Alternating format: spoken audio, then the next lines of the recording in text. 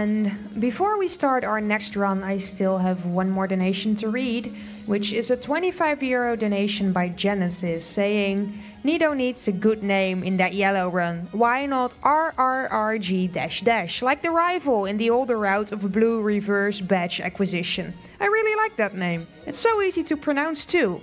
Anyway, good luck to all runners on their runs. Great run so far and seems like a chill event I want to attend next year. And with that being read, we're just doing the final checks. Okay, it seems both of our runners are ready, so I'm directly gonna hand it over to both Kinnin11 and Yume Tsubasa.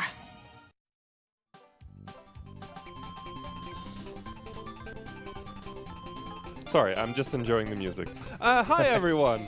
Welcome uh, to Kirby's Dream Land 1, which is totally not a hellscape of luck. What Shall we do you just mean? Shall we just jump in? Uh, I would say so, yeah. Okay. Yep.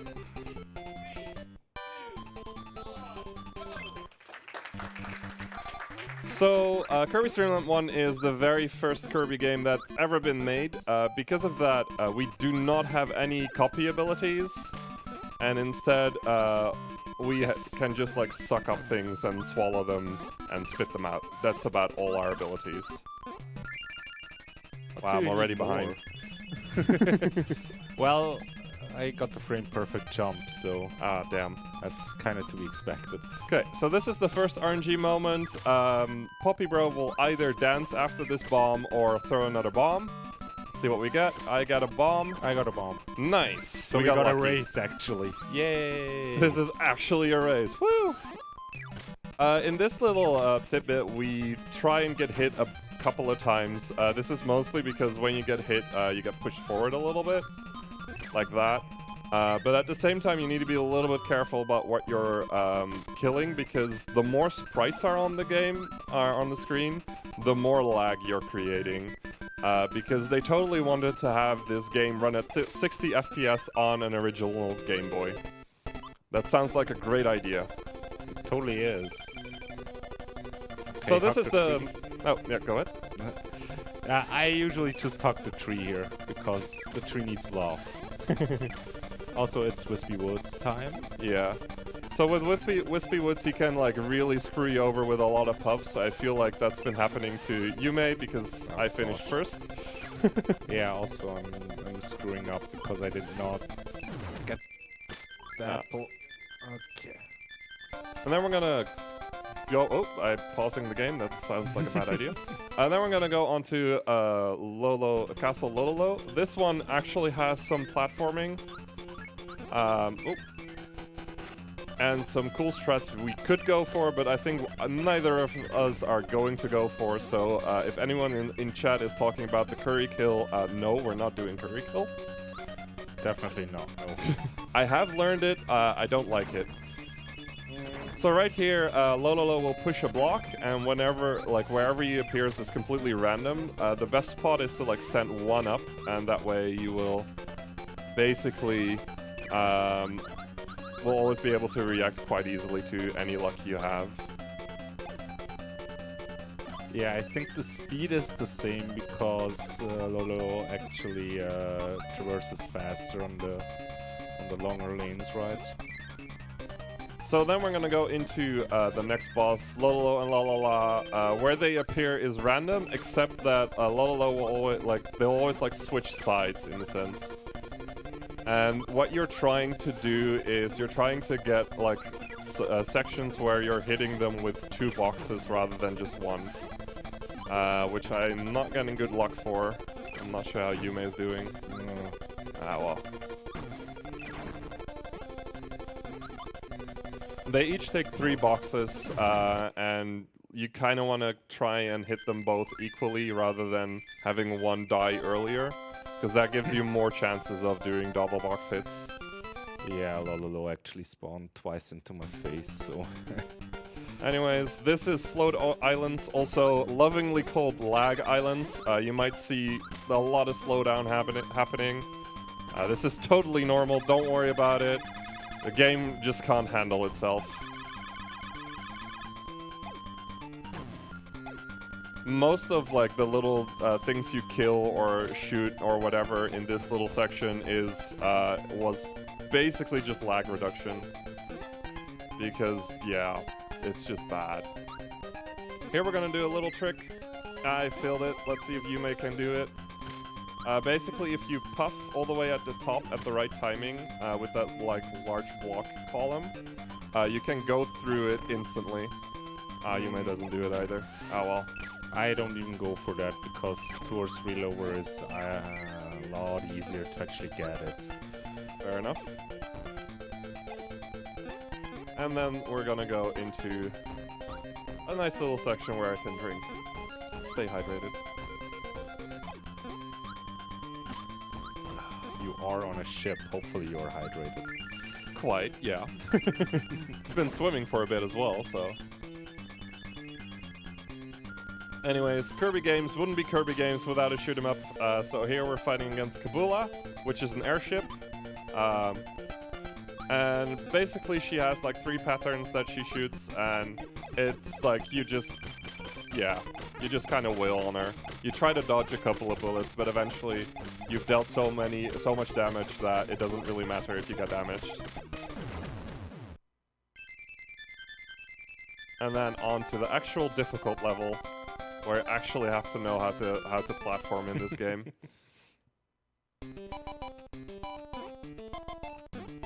For instance, like dodging those Scarfies over there is really difficult. Uh, a lot of new runners will like just die there instantly or just get hit a lot. It can be really tricky.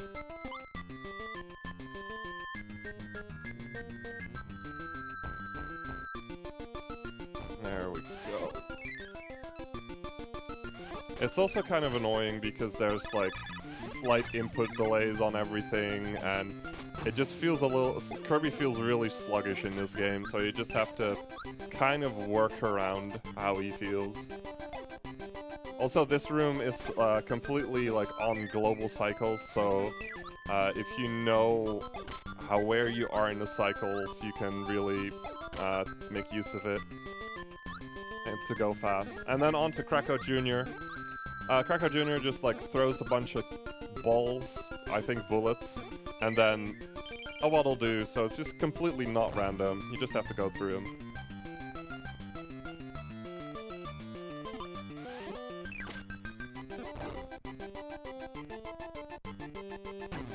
Also good music hype.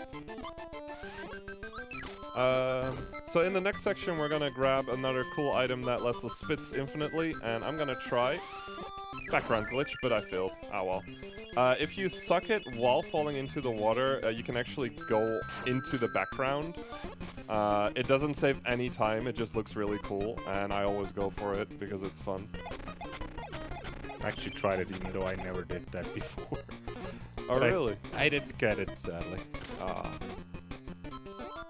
So here you kind of have to like mash the D-pad right a little bit to try and not hit the blocks too much because that'll like slow down your movement and lose you a couple of frames.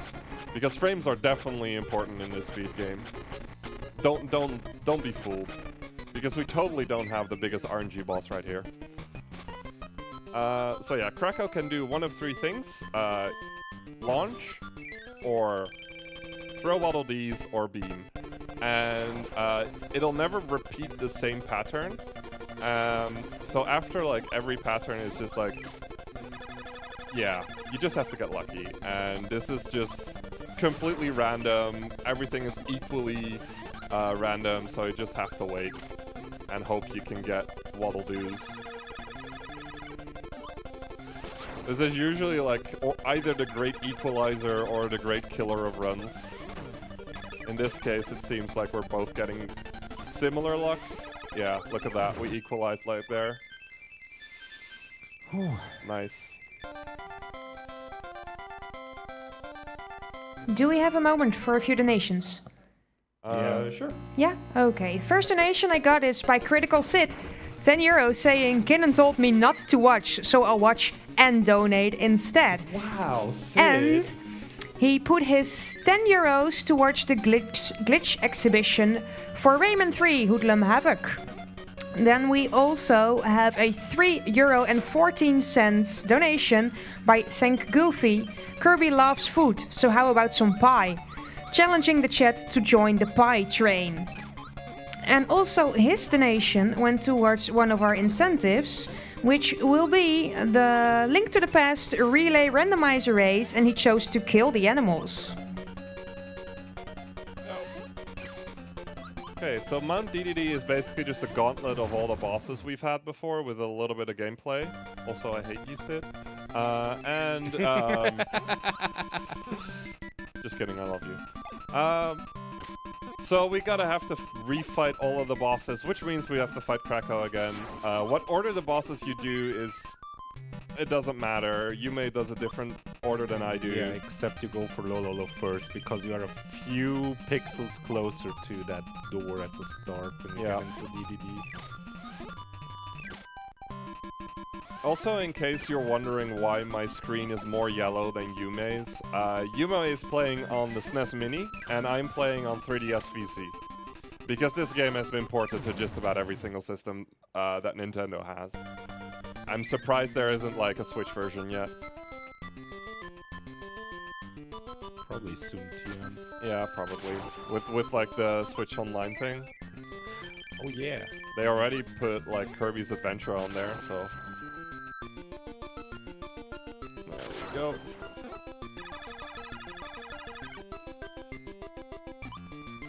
Let's see how what kind of luck Yume is gonna get. I got a really good Kracko 2 luck. Quite quite happy with it. Not so Usually, well. like Kracko 2 is mm, worse than Kracko 1.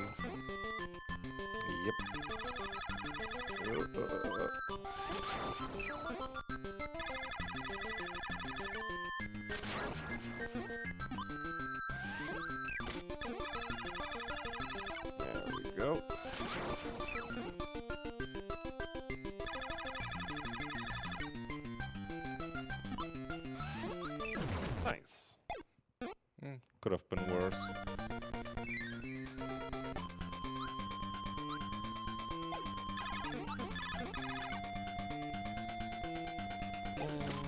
Ah, didn't get the double kill.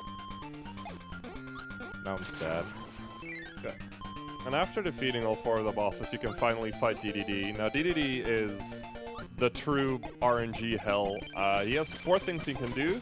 He can either throw hammers, he can jump, uh, he can, like, um, start trying to suck you up, or he can, like, lunge at you.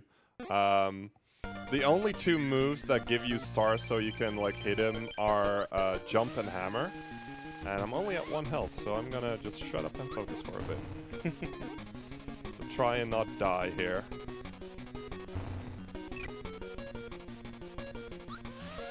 Also, there's an animation cancel if he uses the hammer and you actually hit him in the right frame. Yeah. Because usually... Got it. Uh, usually there is a small animation that he's taking damage. Which you see now. Okay, get ready on time. Time is like when um, the final hit on DDD happens. Come on, jump. No! Oh no! Ah, I went risky. I thought I had enough space. Ah. I Way went risky to throw there. a race. And now, of course, I'm gonna get perfect DDD luck. I honestly have pretty good DDD luck so far. Oh, come on! He did three dives in a row. Four dives in a row! Okay. GG.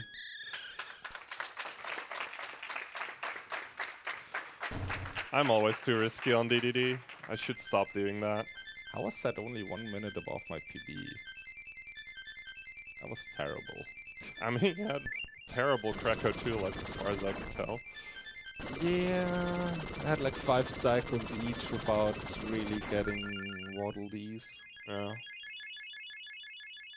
There we go. And time. Half a minute difference. Yeah, not bad, not bad. Not too bad, yeah. Um, yeah, so Usually, this is what like the races end up being. Uh, there was like this big tournament, and it's just like get lucky and not don't die at DDD, and you win. Um, but it's still pretty fun. Um, I do want to give a shout out to the Kirby community because they're awesome people. Uh, if you want to learn this game, don't. Um, Best advice ever. but uh, you can try and learn it and just like race it for fun. Uh, there's usually like one or two people that are might want to race you if you ask them nicely and pay them. Um, but don't worry about that.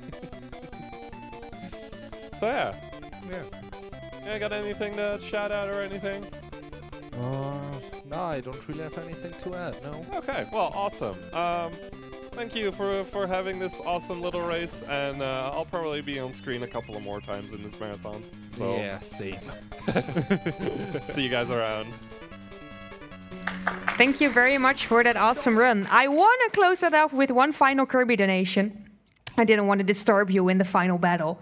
It's a 3 euro and 14 cents donation by Wired Wicking saying joining that pie train for the hungry Kirby. And he put his donation towards his game choice for Wand of Gamelon. So thank you very much. In the meantime, we will be setting up for our next game, which will be Pokemon Yellow. So stay tuned, watch some ads, and we'll see you right back.